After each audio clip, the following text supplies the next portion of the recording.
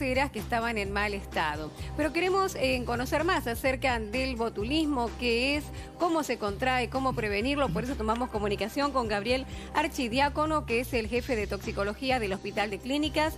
¿Qué tal, doctor? Muy buen día. Hola, Gabriela, un gusto. Bueno, muchas gracias por estar con nosotros y por ayudarnos a, a entender, a conocer más acerca del botulismo. ¿Cómo lo podemos definir? ¿Qué es el botulismo?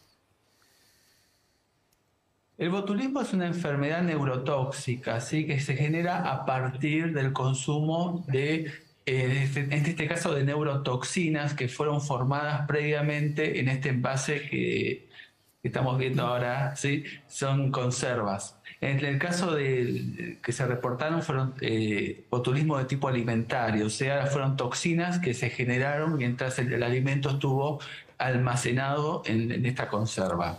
Hay una bacteria que se llama Clostridium botulinum que se eh, reproduce en condiciones especiales, principalmente en alimentos que no tienen un pH o una acidez necesaria para lo que es una, buena conservación, y alimentos que no se, no se prepararon en forma correcta, mucho tiempo quizás fuera de la heladera, eh, temperaturas elevadas y eso hace que esta bacteria genere la toxina y cuando la persona lo consume se intoxique.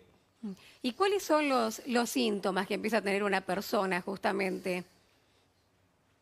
En el caso del botulismo alimentario, principalmente empieza con una parálisis que es de tipo descendente. Lo que primero empieza a sentir la persona es eh, visión borrosa, problemas para enfocar, eh, para ver algo ven doble, se le puede caer los párpados y después de ahí empieza a descender con problemas para tragar los alimentos, problemas para producir secreciones, la saliva y después sigue progresando en forma descendente. Dijimos primero los ojos, después hablamos de la boca, de tragar y, y después afectar principalmente lo que son los músculos respiratorios y ahí puede afectar la respiración y eso puede ser letal. Si es una toxina potencialmente muy letal.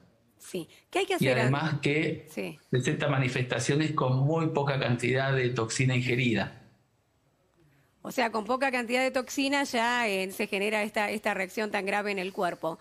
¿Y cuál es el margen, cuál es el tiempo que se tiene ante la aparición de estos primeros síntomas para acudir rápidamente a, tener asistencia, ¿no? Y cuándo hay que aplicar la antitoxina? Lo antes posible hay que pedir asistencia porque hay un plazo de hasta cinco días en donde la, antitoxina tiene efecto, ¿sí? Si no, el tratamiento es eh, asistir al paciente, asistencia respiratoria mecánica, y no, no hay una resolución eh, con la antitoxina, ¿sí? Otra de las cosas más, bueno, hay que tener mucho cuidado con el tema de la preparación de, estas conservas, más si son caseras. Y otra de las cosas que podemos hacer, si vamos a consumirlas, es ponerlas en baño María por lo menos a 100 grados por 30 minutos y de esa forma esta toxina es termolábil, o sea, se destruye con la temperatura. Si nosotros calentamos esta conserva por 30 minutos a baño María, o sea, en agua hirviendo, eh, por lo menos durante tres días podemos consumir este, este alimento en conserva. Sí. Y si pasa más de tres días, otra vez hay que repetir el procedimiento. Sí. ¿Y cuál es el protocolo que se suele hacer ante eh, la aparición de casos sospechosos? Se, se, toman, lógicamente, bueno, se atiende al paciente, muestras para poder confirmar si se trata de botulismo, también se analiza cuál puede haber sido la fuente de contagio.